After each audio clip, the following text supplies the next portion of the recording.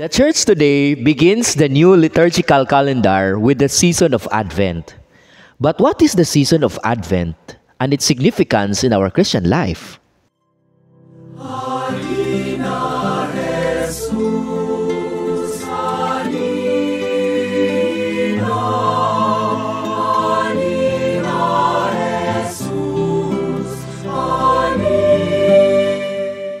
Advent is a period of preparation extending over the four Sundays before Christmas. The word Advent comes from the Latin advenio, to come to, and refers to the coming of Christ. And the term the coming includes three references. First of all, to our celebration of Christ's birth at Christmas. Second, to the coming of Christ in our lives through grace and the sacrament of Holy Communion and finally to his second coming at the end of time. Our preparations, therefore, should have all three comings in mind. We need to prepare our souls to receive Christ worthily. What are the symbols we use during Advent?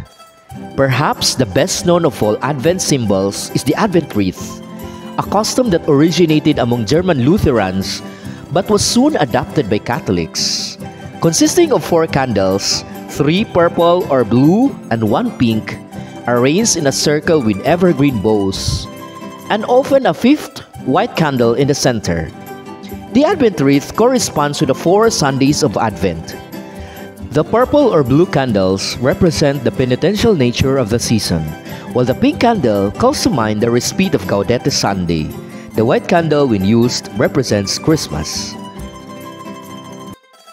How do we celebrate the season of Advent? Advent has been called a little Lent because it traditionally has included a period of increased prayer, fasting, and good works, although the church no longer has set requirement for fasting during Advent. Unfortunately, Advent today has supplanted by the Christmas shopping season, so that by the time Christmas Day comes, many people no longer enjoy the feast or even specially mark the next 12 days of the Christmas season which lasts until Epiphany. We can better enjoy Christmas, all 12 days of it, if we revive Advent as a period of preparation. Abstaining from meat on Fridays or not eating at all between meals is a good way to revive the Advent fast. We can incorporate customs such as the Advent wreath and the Jesse tree into our daily ritual, and we can set some time aside for special scripture readings for Advent which remind us of the threefold coming of Christ. Holding off on putting up the Christmas tree and other decorations is, is another way to remind ourselves that the feast is not here yet.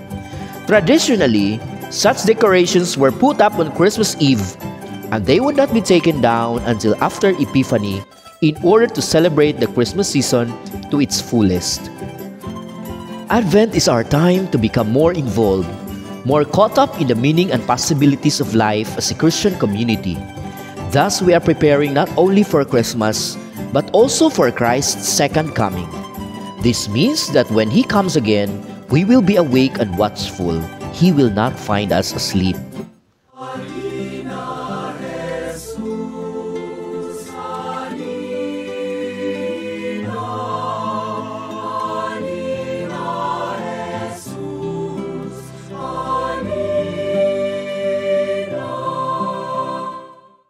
We conclude this simple catechesis with a simple prayer. In the name of the Father, and of the Son, and of the Holy Spirit, Amen.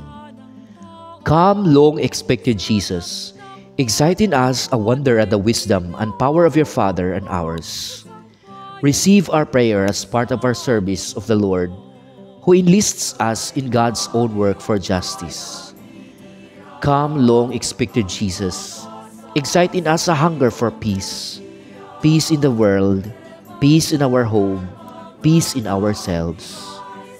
Come, long expected Jesus, excite in us a joy responsive to the Father's joy. We seek His will so we can serve with gladness, singing and love. Come, long expected Jesus, excite in us the joy and love and peace it is right to bring to the manger of the Lord. Raise in us too sober reverence for the God who acted there, hearty gratitude for the life begun there, and spirited resolution to serve the Father and the Son. We pray in the name of Jesus Christ, whose advent we hail. Amen. Mother Seton, pray for us. God has done great things for us. May God be forever praised. Alleluia. In the name of the Father, and of the Son, and of the Holy Spirit. Amen.